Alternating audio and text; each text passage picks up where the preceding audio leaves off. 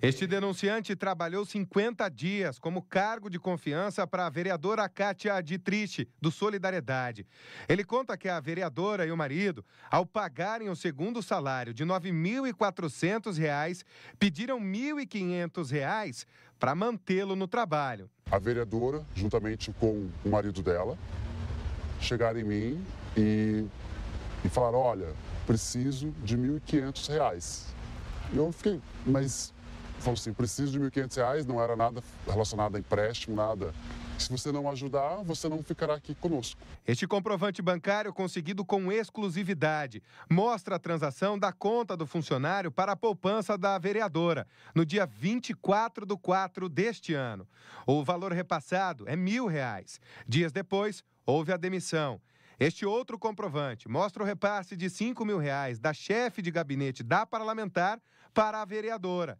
Na denúncia ao Ministério Público, que é analisada pela Câmara, a comissionada revela que o valor é de um empréstimo pessoal feito por ela. Seria uma cobrança de Kátia pelo cargo dado. Foi o segundo pagamento feito dessa forma. Outros sete CCs teriam sido exonerados por não concordarem com a prática. A vereadora continua negando as acusações. Eu fui vítima de um complô, né? Isso tudo foi orquestrado contra mim.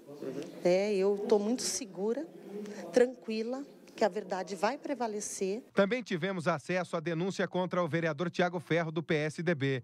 Todo o problema teria começado quando o político assumiu um cargo na Casa Civil do Estado. Ao ser eleito, passou a função para a esposa de um funcionário. No primeiro salário, a testemunha afirma que foi à casa do vereador e que teria que repassar R$ 1.700 do total de R$ 7 mil que recebeu, a pedido do parlamentar e da esposa dele. Ainda de acordo com a investigação, uma servidora ganha 11 mil reais como recepcionista no gabinete e que a cobrança de parte dos salários continua. A pessoa que fez a denúncia tem que provar. Cabe a ele a prova nesse momento. O vereador Rogério Campos, do PSC, é suspeito de obrigar funcionários em cargo de confiança a pedirem empréstimos pessoais e ficar com o dinheiro ou emprestar valores a eles e depois contratar no gabinete. Eu estou tranquilo. Eu gosto daquele velho ditado: quem não deve, não teme. Essa é a linha de trabalho. Tudo que pode acontecer agora com os três novos vereadores que são investigados pelo Ministério Público tem a ver com a corregedoria da Câmara de Vereadores, que pode pedir os documentos e já abrir a sindicância, ou então, no mínimo, falar com os três parlamentares. A partir de agora, a decisão está aqui. A ideia da corredoria é já solicitar informações do Ministério Público. Se entenderem por bem, encaminham para nós e instauraremos sindicância. Os vereadores Giovanni Fernandes, do PTB, e Osias Moraes, do PRB, não quiseram gravar entrevista. Cinco dos 38 parlamentares são investigados.